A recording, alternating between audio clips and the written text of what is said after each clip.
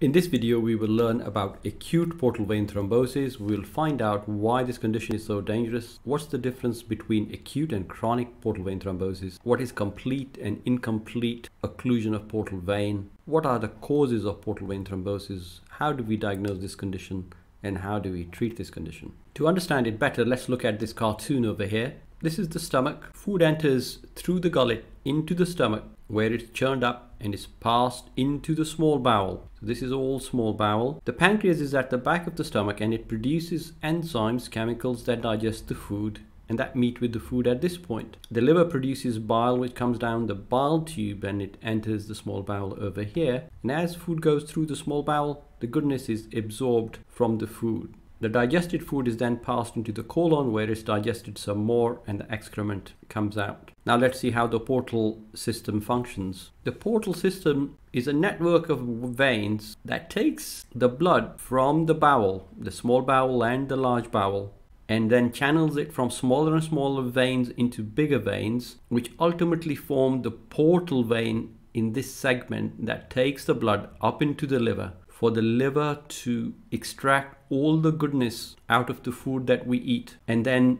once liver has filtered the blood, the blood is then passed back into hepatic veins or liver veins which transport the blood towards the heart and the main circulation. So let's look at the two different circulations. One is the portal circulation that, as I said, takes the blood from the gastrointestinal tract towards the liver. The systemic circulation includes the heart pumping the blood throughout the body and then this blood comes back into the veins as illustrated in blue over here to form one big vein called the vena cava and the liver drawn out over here drops all of the blood from the portal circulation back into the systemic circulation just near the heart. These two systems do communicate with each other through channels that remain dormant until such time as the pressure within the portal system reaches a certain threshold and then over time this opens up the communication. However, the communication channels are tiny veins which are not designed to take up the excess blood flow and they become very dilated,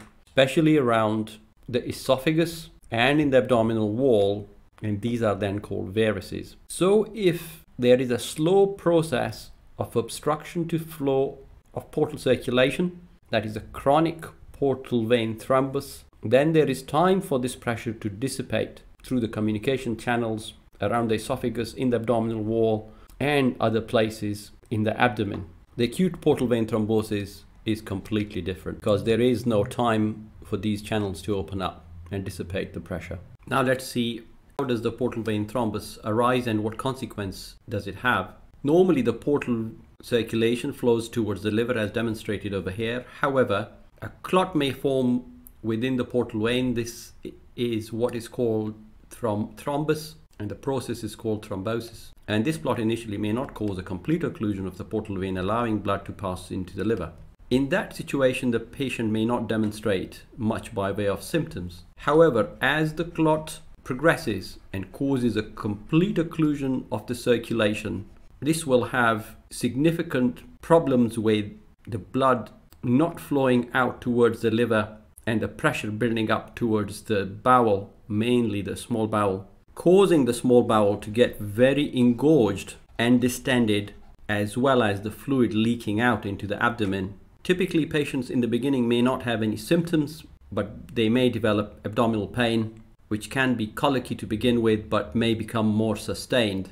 If this situation doesn't settle and progresses, the bowel may lose its blood supply altogether due to the extensive engorgement and may actually die, resulting in perforation of the bowel and the contents leaking inside the abdomen leading to peritonitis, with the patient becoming increasingly sicker and unwell. The pain becomes much more extensive and at this point the patients are unable to move. They may have other systemic signs such as a high pulse rate, temperature, a low blood pressure and shallow breathing. Why should a clot arise as shown over here in the portal vein? There's a long list of causes. The common ones are outlined over here. Conditions of the blood such as thrombophilias which are inherited, cirrhosis of the liver which is a condition where there is more scar tissue in the liver, acute infections in the abdomen may result in portal pyemia where The bacteria now infect the blood within the portal vein. Liver cancer itself, medications such as oral contraception increase the risk of clots forming in the portal vein, as well as systemic veins. Pregnancy, acute pancreatitis, inflammation of this organ at the back over here may cause inflammation within the portal vein and a clot forming. Inflammatory bowel disease, autoimmune disorders such as lupus and Behçet syndrome, surgery or trauma to the abdomen, and around the time of birth, if there is infection or inflammation of the umbilical stump, that may cause portal vein thrombosis in the newborn. So how do we diagnose this condition? The symptoms are usually non-specific and we may not fully appreciate how sick the patients are initially.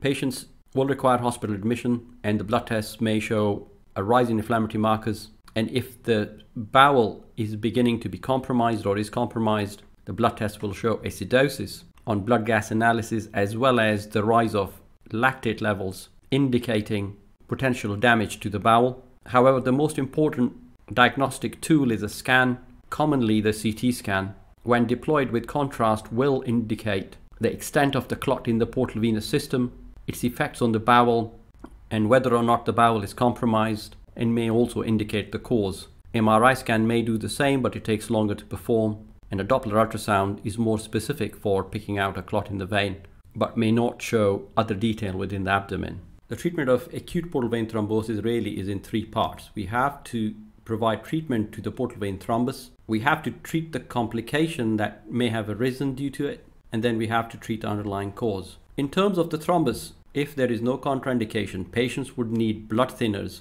to reduce the risk of the portal vein thrombus propagating and also to help reopen the channel where possible. Heparin is the oldest and the most useful and easily reversible that is deployed. Its longer acting low molecular weight der derivatives may also be deployed and this tends to be the initial treatment as soon as this diagnosis is made. This is then followed up after patient stabilization with oral anticoagulants such as heparin or the newer ones such as apixaban, rivaroxaban, etc.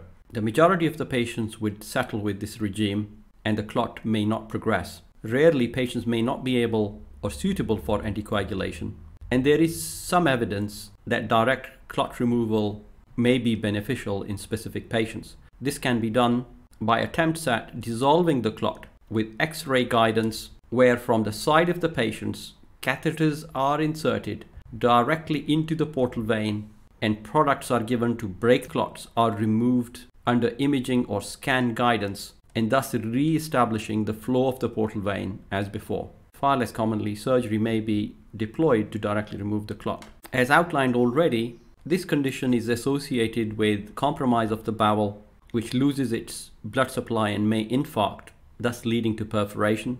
The treating team must, must be very vigilant about this complication and must perform emergency surgery to remove the dead bowel if a life is to be saved. Finally, and most importantly, the underlying cause for portal vein thrombosis must be found and treated. The anticoagulation should continue at least for six months if the underlying cause is treatable. If it is not treatable or a cause is not found, then sometimes it's important to continue the blood thinners in the long term, recognizing the risks and complications of this treatment. This completes a brief overview. If you have any comments, please do share.